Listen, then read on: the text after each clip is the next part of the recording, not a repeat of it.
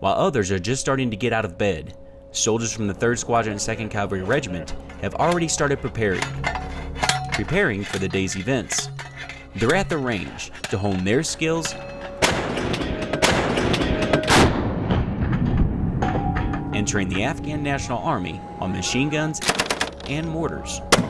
Today we did a range with the ANA. I taught them how to do uh, the handheld uh, mortar system, 60 millimeter, and we just showed them how to fire the round, how to properly use it, and how to make adjustments of their fire.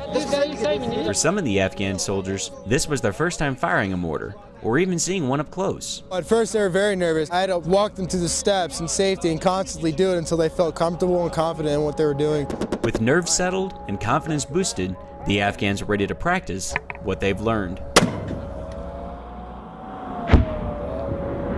They did well. When I tell them what the scenario was and what they're engaging, they, they knew exactly what fuse setting to use. They listened to the commands from their gunner, from just simply hanging the fire and dropping it and putting it back on safety, you know, and just being steady with the gun overall and being calm. I think having them going through the procedures over and over and having to actually go through a live range and uh, just building that muscle memory. I think that, that when they when they do go out there and, and get in contact, you know, they'll know, know what to do. They'll refer back to the training and their muscle memory. And it's training like this that may save their life or their fellow Afghan brothers' lives on the battlefield. Reporting from Kandahar Province, Afghanistan, I'm Army Sergeant Carl Greenwell.